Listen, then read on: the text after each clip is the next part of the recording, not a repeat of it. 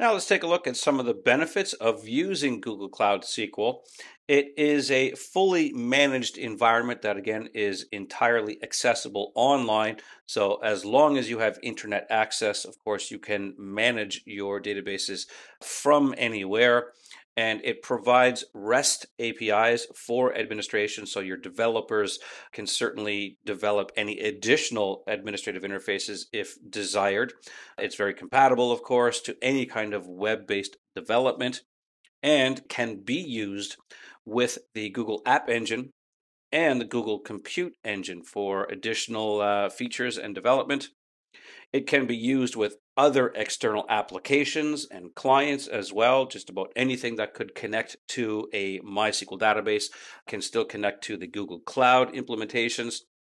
It provides security. All data is encrypted by default.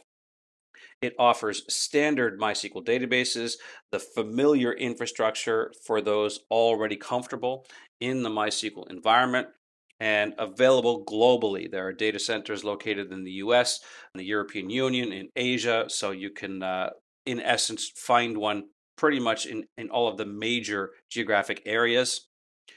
It can host MySQL 5.5 or 5.6 in terms of the versions, and they're uh, certainly uh, very current editions of the product. All data is replicated across multiple zones with automatic failover implemented and of course, like any cloud service, you have your choice of billing options. And uh, like most of the other cloud subscriptions, you pay for only what you need or what you use. With respect to the size, you can have up to 16 gigs of RAM and 500 gigs of storage per instance. So if you need more than that, you can implement an additional instance. Easy importing and exporting fully compatible with Java and Python for your developers. And uh, from the networking perspective, it supports both IP version 4 and IP version 6. It includes support for the MySQL protocols and the MySQL connectors. SSL support for connections for when you need to secure the connections. They implement automated backups and point in time recovery as well and also fully compliant with ISO IEC 27001.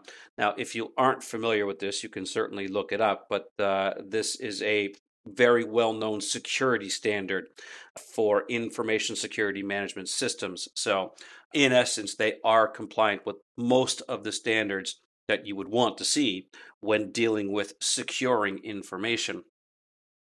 Now, there are a few features that aren't supported in the Google Cloud SQL platform.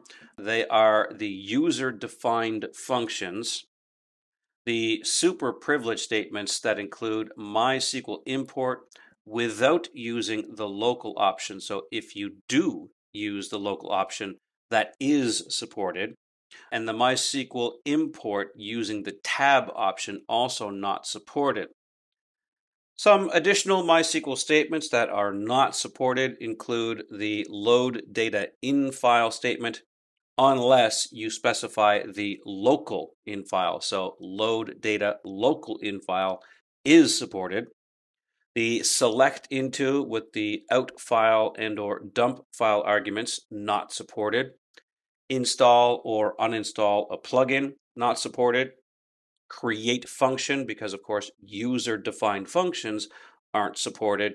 And finally, the load file function is also not supported. So a few restrictions to be aware of, but nothing that should prevent you from getting in there and creating your databases to drive your applications.